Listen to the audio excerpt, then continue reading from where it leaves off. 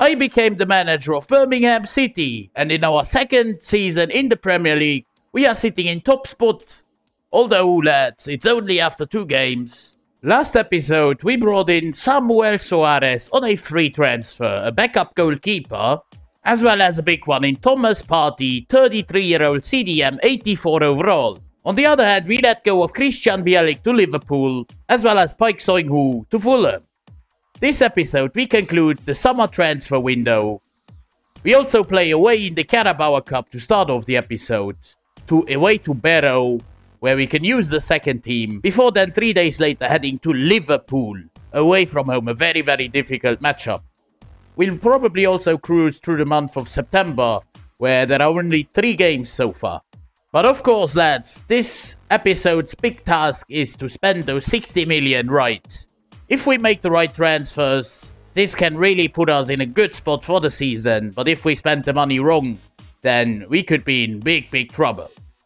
And assessing our squad, what we certainly need is a better left back because we don't even have left backs on the bench. We have a an atrocious squad depth. Certainly, a couple of players need to be added to this team. We even have two goalkeepers on the bench at this moment in time. It's really not that great. First though, before doing any business, we play an EFL Cup game. We simulate that. With the second team oh, away to Barrow, we should actually get a win here. But we lose on penalties. I mean, that's an embarrassment. I'm not even gonna lie. We lose on penalties. How many penalties were there missed as well? I mean, atrocious, atrocious penalty shootout. I've never seen anything like it. Haynes scored the equalizer for us. Telford gave Barrow the lead, but so many penalties missed, I've never seen anything like it. So lads, hear me out, hear me out. I have found a superstar for the centre back spot. A man that we actually need because our defense is a little bit dodgy still.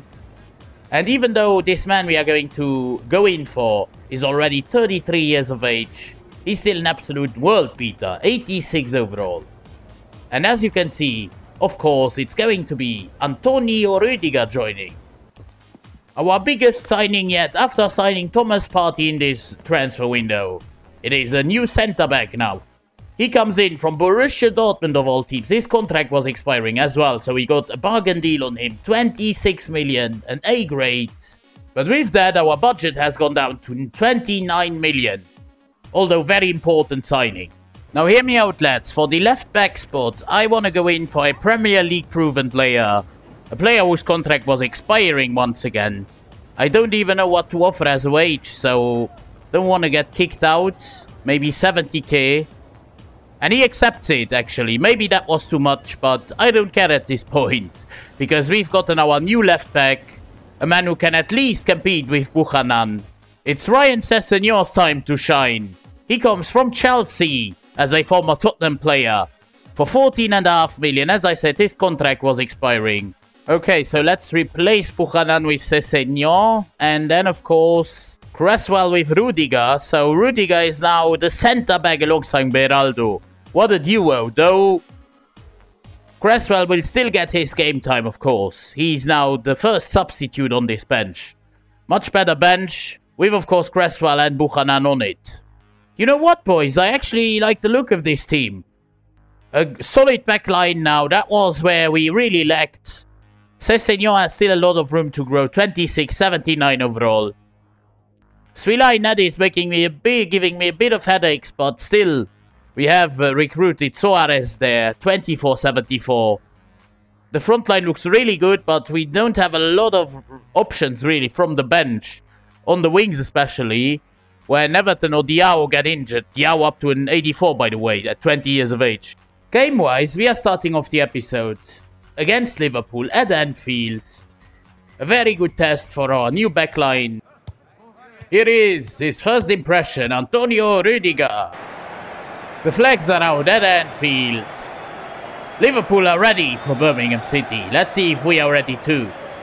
They have Jhon Duran up front, but uh, Stroeykens makes a good tackle here. Wharton. Neverton loses the ball though. Now Neverton, good, good action here. Very good tackle. It's Neverton, but he gets taken off the ball. Now we have Thomas Partey, of course. Good ball into Stansfield. It's Jay Stansfield with the chance. It's Diao. we are 1 0 up. What did the goalkeeper do in this situation? I don't know, but I don't care because Asanda Yao Yaone scored. Great ball from Partey into Stansfield. Blocked shot and then Yao into an empty net. Alisson stands there like a cloud. Liverpool will want to react, of course. We are the league leaders, of course. Let's not forget that. But now Salah wants to change something at that. It's Mo Salah. Mo Salah. Good intervention by Neverton. Neverton does a lot of defensive work. Vandenberg, I don't even know these guys. Mayer. McConnell, I, I don't know most of these. It's Clark. Did Liverpool send out their third team? It's Lima, that guy I know, but now to run and Svilakalaks. We've played a very good first 45 minutes here at Anfield. Let's hope that this can continue like that. Matthijs de Ligt with a bad touch here. Now Ryan Sessegnon into Wharton. We controlled this game very well so far. It's Stroeykens into Partey. Now Stansfield. Jay Stansfield with a chance. Scores! We are 2-0 up Jay Stansfield. And now they do a duck celebration or something. I don't even know. We are 2-0 up Birmingham City. Could grab a shock win here at Anfield. Mohamed Salah. Now into McDonald or McConnell. I mean, if Liverpool play with those guys, it's normal that they don't win anything. But still, McConnell here with a good action gets taken off the ball ultimately, though, by Beraldo. Now Sessegnon with a lot of space. Can he look for Stansfield? He finds him. But now Stansfield on his own. The run made by Stroeykens, but Stansfield goes on his own and hits the crossbar. Nearly scores here. Now Wharton. Stansfield looks for Stroeykens. Stroeykens with the chance. Stroeykens lobs the ball over the net.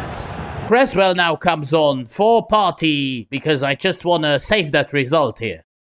Now Greenwood, what? I, I I don't know if that's this Greenwood of Man United, but what does he do at Liverpool? Oh well, we are already in added time. We are about to win that game here at Anfield. Don't let them shoot. Don't let. Don't concede a goal here. No, we don't. And we keep a clean sheet. Brilliant game. Brilliant performance. Anfield is not happy, but we are delighted. We of course confirm our top spot, and as you can see, we are the only team that has won all three games. For now, though, we close down the transfer window. Birmingham City have done all their business. Next up, we face Crystal Palace with a bit of a rotational side as some of the first team players are, of course, very tired. Can we get a win still against Crystal Palace? No, we've got our first loss of the season, our good run of form ends Right here, right now, Munoz and Ivan Nielsen score for Palace. In other news, our third string goalkeeper Frederick Hills will go on a six month loan deal to Nottingham Forest. Okay, boys, I give another try to our second team, but this time I play myself. We start off this game with an attack to Southampton. It's Sekou Mara holding off Cresswell in the penalty box. Still Sekou Mara. A very, very technical player, but Cresswell does really well here. Thomas Partey, of course, still plays. But most of the other players are, of course, rotational. Like second fiddle, but they need... I, I, want to get a feel of them, and here Palacio does really well. Once again, Southampton on the attack, but once again, Cresswell is there. I tell you what, he can play football. He brings the ball out of defence. Still Cresswell gives it into Kiliksoy. A lot of open space there for George Hall. Can he go all the way? It's George Hall. Great save. But offside. No, not offside. That's a FIFA glitch. It's Diao. Once again, delivering here. Coming in clutch. Assane Diao Diaone. 1-0 Birmingham City. Corner kick now. It's George Hall. Ethan Laird. It's 2-0. That came out of nothing. It's Ethan Laird with one of his very, very few goals. However, just a few seconds after scoring the second, they have a chance to come back through a penalty, and it's Sekou Mara who gives them one back. Now, though, in the 60th minute, we have a lot of open space. Haynes should have come on here, and it's three against the goalkeeper. Haynes Kiliksoy, what do we do there? Oh my god. How have we butchered this? I mean, it's three on one. How can you butcher such a situation? Haynes gives it to Kiliksoy, who controls it instead of shooting. And then controls it again, and yeah, does very, very, very, very poor. If that ends up costing us, I'll be fuming on the touchline, but oh well. Now comes Haynes. Once again, he did well in this situation as well. But now a bad ball. And oh my god, in the 89th minute, of course, that's the game. They get another pan here, the Southamptonians, and they score another goal. It's 2 all. How was that possible? We absolutely bottled this. We absolutely bottled this. This is just horrendous. And the game is done. 2 all. I'm, I'm just... I'm fuming. I'm absolutely fuming. If you enjoyed this series and the grind with Birmingham City, then please consider dropping a like on the video and subscribing to the channel. One last game this episode at St Andrews against Manchester City of all clubs. Here we are then, look at those fancy cutscenes here. Let's take on the citizens then. With all we've got, with our first team of course, it's Thomas Partey immediately into Diao. Can we create a very early chance? It's Diao gets just about taken off the ball. City also play with, just like Liverpool, uh, with their second team. Kind of. Bobb, O'Reilly, Peron. What are those guys? Is this a Carabao Cup match with Katongo? I mean, is this a glitch? I don't know. But I'm not going to complain. At least there is uh, Erling Haaland, of course. But now O'Reilly and we are already behind. I should shut my mouth. That would be much better. Careful not to concede a second. Grealish into Haaland. We can't give him that much space, but we get it away somehow. It was, I think, Rüdiger.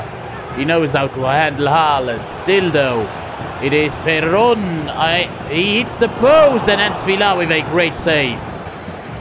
Haaland again now. It's Beraldo against Haaland. Still Haaland. Goes through somehow.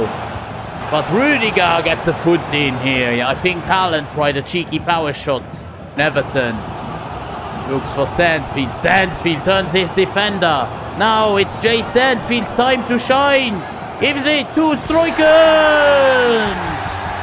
One all. We fight back against the Citizens. Once again, now City on the charge. It's Jack Grealish, but Laird does really well. Now Diao, we get another big chunk of space here down the, right side.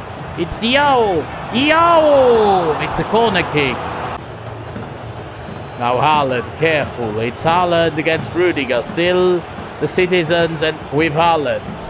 Haaland now. Laird gets a foot in. I love this guy. It's a corner kick to the citizens. Jack Grealish.